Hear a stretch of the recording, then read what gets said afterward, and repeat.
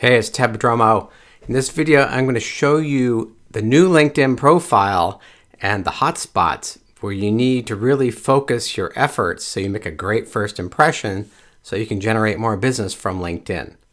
So the first thing we see on this new layout is the background header. This is the space behind here. You can customize this background area. So it's very important that you add something back there. You see that you really have to work on the sizing. As LinkedIn changes its layouts, you know, some words will show up, some will not. And after I complete this section on the desktop, I'll show you what it looks like on the mobile phone, which is even more important because about 60% of LinkedIn traffic now comes from mobile devices. So I'll show you both in these videos. So number one spot is this background header. Next, people are going to see your picture right here in the middle here. This is really critical to have a professional picture there. You can't just have a, a, cropped photo anymore, a blurry photo. You really need to make a great first impression, especially on the mobile device. Next is your name field right here. A lot of people like to stuff keywords in their last name field. It's against LinkedIn's terms of service, so don't do it. It's also it just confuses people. If they're searching for Victoria Myers, the LinkedIn search engine isn't that smart, so it may not be able to find that person if you have a lot of extra words stuffed in here, keyword phrases. So if you have a certification like CPA or you know JD, something like that, put one there. You don't need to put them all in there.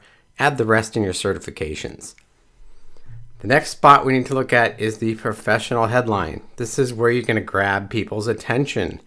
This is really how it's going to, don't use your job title. By default, LinkedIn stuffs your job title and your company name in there, but you want to stand out from the crowd. So Victoria says she's the Bay Area's number one computer consultant to local small businesses, co-owner of Myers Network Solutions. Now, if I was Victoria, I wouldn't bother putting this because this is just a job title that's going to show up further down in your profile. This is where it's really important to, on the first part of your professional headline even, really have something that's going to grab their attention. The Bay Area's number one computer network consultant. Because let me show you why this is going to show up over here people also viewed. And most of your profile views are going to show up over here. So here, Richard Youngs, look at this. He's kind of stealing Victoria's Bay Area top IT professionals and consultants for your business. We handle your IT so you can focus on your business. See, that got my attention. He could say he's the owner of some IT consulting firm, which is boring. Like here, entrepreneur. Is that going to make you want to click on there?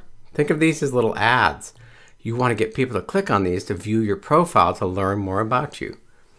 So he's Rob specializing in cloud and IT solutions. You get the idea you want to really grab people's attention up front here. So the first part of this phrase especially is important. So next, let's get into, here it's going to put your company name and where you're located and how many people are in your network.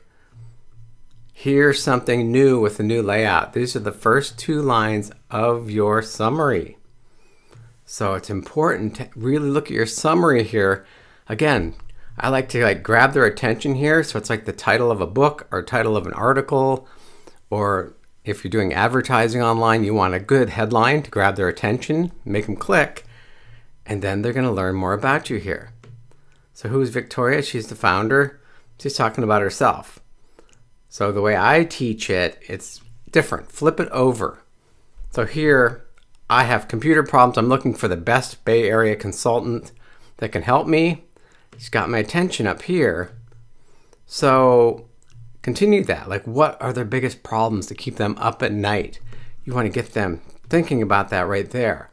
How you solve their problems. What are their biggest problems?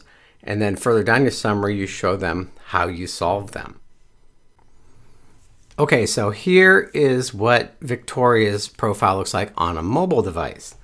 I talked about the background header here and you see how it's all cut off now? There's very little showing. So you really have to resize those. Talk to your graphic designer and show them what kind of space we have to work with. It's, it's really limited on the mobile phone but see we got some information here. Myers network solutions. We got to get something. She can have her phone number here or her website or something. But instead of just leaving this blank with the default, you know, LinkedIn, it's just a very general looking image, or using one of LinkedIn's general images, get your brand name up here and a way for them to contact you. So this is a first impression, and if we know mobile devices, we're going to scan quickly. And any way we can grab their attention, this is the first place their eyes are going to go. And then here's the picture again. See a good, clear, professional headshot. Just look, it makes your company look more professional, makes you look more professional.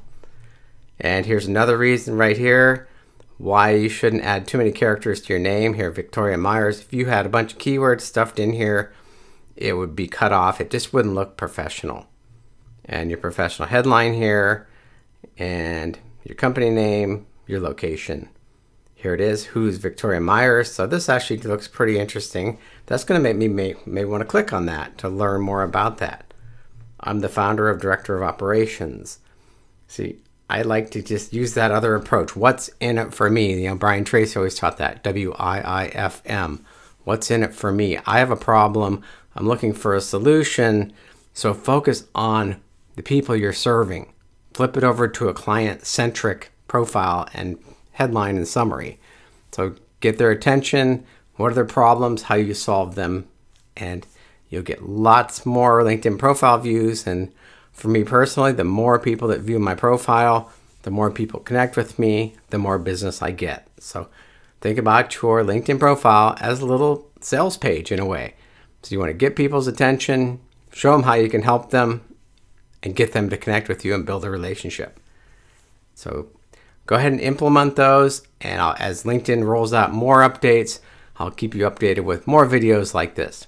Go to tedprodromou.com or socialsellingminute.com where I have lots of great information about how to keep your LinkedIn profile up to date and relevant. For more free training, visit socialsellingminute.com.